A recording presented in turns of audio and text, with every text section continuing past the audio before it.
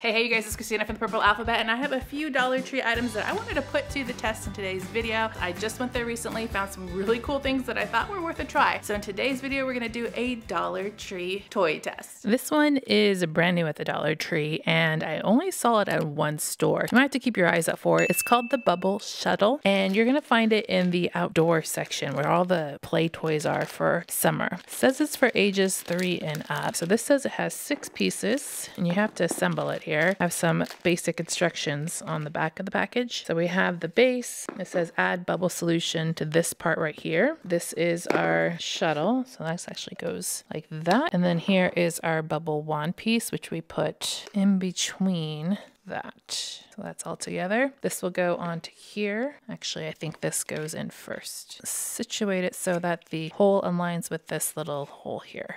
Snaps into place. And we have our tube goes like that. And then this is our puddle that we use to blast it. So when we blast it, it should shoot off into the, oops, hold on. It should shoot off into the air. Let's, let's just see here.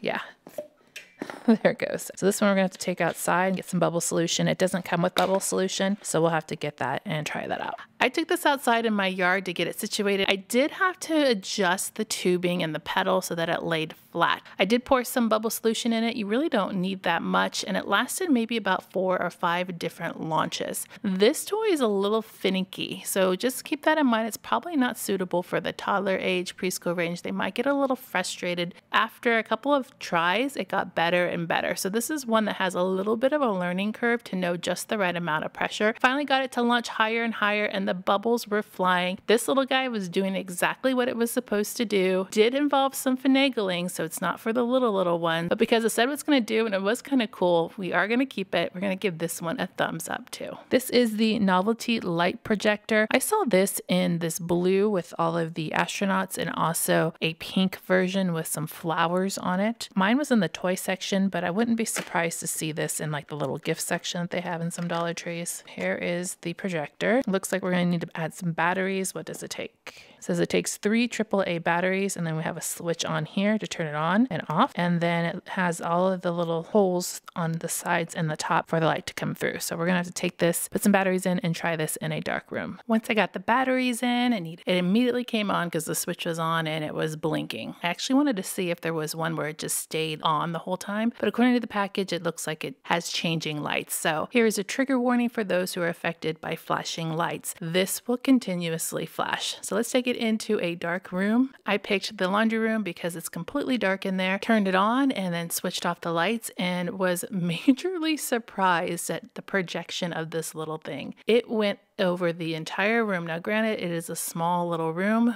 but it actually hit the walls and projected all of the different shapes. This one was the space shape, so we had rocket ships and planets and stars. And then it did change color and flash, probably a little bit too much on the flashing, in my opinion. However, some people might not be bothered by that, especially if it's in a larger room. So if you're okay with the flashing, then this definitely worked and did what it said it was going to do.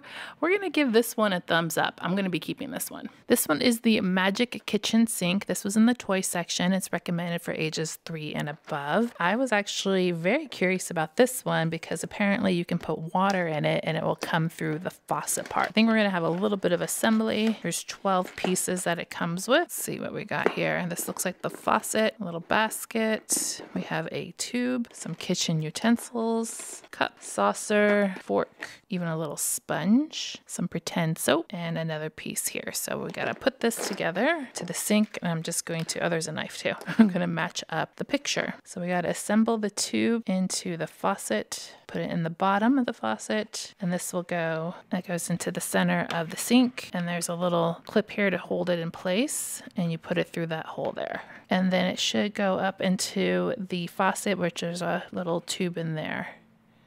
So then we just have to put some water in here and then we can push this button to make the water come. Then we have some other accessories to add on to here. Looks like we can put this on here. Maybe put it on the right way, Christina, instead of backwards. and this is where our kitchen utensils can hang.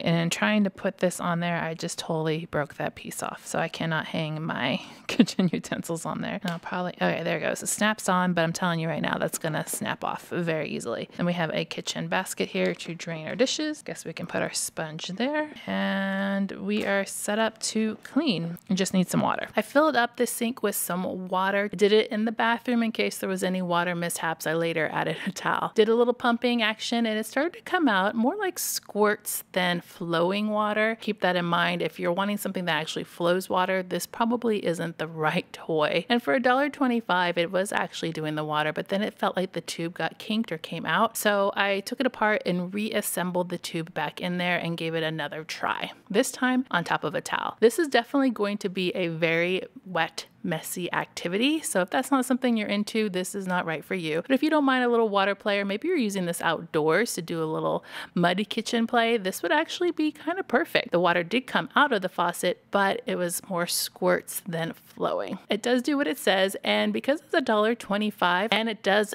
work, I'm gonna give it a thumbs up, even though it's not flowing water. I think your kids could have a lot of fun with this for a really affordable price. This was a last minute addition to this test because it's not technically a toy, but it is an art and craft item, and I know kids like to use arts and crafts. This is the Crafter's Square canvas pad. So if you're familiar with canvas paintings, this is a pad of canvas papers, and this says it has 10 sheets in here. Brand new item, never seen it before, so I thought I'd check it out, and oh my, it totally is canvas. I wouldn't say it's the most greatest of quality canvas, but it definitely is canvas. You can even see on the back, it's a, you can see the canvas grain really well, and on the front, it looks like it's already painted white. This is pretty cool. So I pulled out a sheet of the pad. Some of the adhesive did come with it, but you could always cut this down to a smaller size. You can even wrap it around things if you wanted to. It's just very, very flexible. So I'm gonna go get some paint to try this. All right, so the packaging says that it is to use with oil and acrylic paint. So I found some purple acrylic paint here. For some reason I thought you could use watercolor on it and that didn't work. And let's just try some of this. Okay, so it feels like a canvas painting mixed with paper because it's kind of soaking through a little bit. Let me see the back. Not soaking through the back, which is good. I would have to say for what it is, does have that canvas feel. For $1.25 for 10 sheets of that, I think you can get away with doing some pretty cool stuff with this. Um, not only just using it as a picture, maybe using it to fit over other things glue it down. And it's much cheaper because this is 10 sheets versus buying one canvas at Dollar Tree for $1.25. So we're gonna give this one a thumbs up. Let me know if you have some ideas on how you would use this. All in all, the items in this dollar toy test were actually really good. Sometimes I get some bad ones, but I'm pleasantly surprised for the price and for what they do. They definitely deserve a thumbs up. If you have experience that is different than mine, I would love to hear about it. Leave me a note in the comments and tell me what you think. If you like this video, I'm gonna put another one up here on the screen for you to go watch next. I will see you over there. Make sure to click subscribe to see more videos like this and give me a thumbs up. Show your love.